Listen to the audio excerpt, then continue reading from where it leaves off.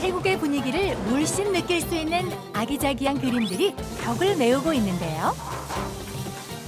관광객보다는 현지인들이 많은 그런 곳에서 먹는 맛? 집에서 먹는 음식이라고 하던데.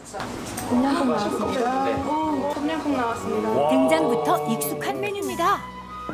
새콤달콤한 그 이름 또명꿍. 맛과 향긋한 풍미를 동시에 느낄 수 있다고요. 세계가 인정한 최고의 요리. 진짜 맛있어요. 너무 시원해. 한 번 먹으면 헤어나올 수 없는 그 맛. 끊임없이 먹게 되는 마성의 매력. 태국 먹는 즉시 김치찌개잖아요. 빠져든다 빠져들어. 이어지는 두 번째 메뉴. 팥 크라파오 무쌉. 태국인들이 가장 즐겨 먹는 가정식이라는데요. 잘게 다진 돼지고기에 포슬한 밥을 비벼 한 대 먹는 것이 이 음식의 포인트. 이때 제작진 카메라에 포착된 사진 한 장.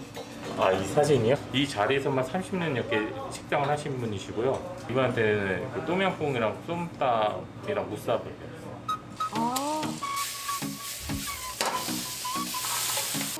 근데 이건 뭐예요? 이거는 black soy sauce라고 해서 이렇게 검은색을 낼 때 자주 사용하는 소스예요. 저희만의 배합으로 레시피를 만들어가지고 사용하고 있어요. 태국 현지에서 배운 요리를 바탕으로 수제 소스를 만들어냈다는 주인장. 이 색깔을 본 것 같아요. 현지의 맛을 그대로 담은 비결이라고요. 그러니 태국 사람도 자주 이곳을 찾게 된다고요. 엄마가 해주셨던 거랑 맛이 비슷해요. 하루에 막막하. 이어지는 마지막 메뉴 썸땀. 새콤함과 아삭한 식감을 그대로 이게 파파야라는 열매고요.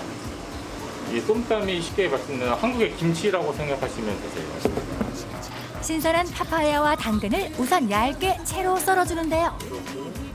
여기에 각종 향신료와 견과류 등을 넣고 함께 빻아주면 상큼한 태국의 김치 썸땀. 태국 여행의 추억은 물론 태국 가정식을 느낄 수 있는 이곳. 태국을 안 가도 여기가 태국이다 느낄 수 있을 정도의 맛을 내는 것 같아요. 아로이. 아로이.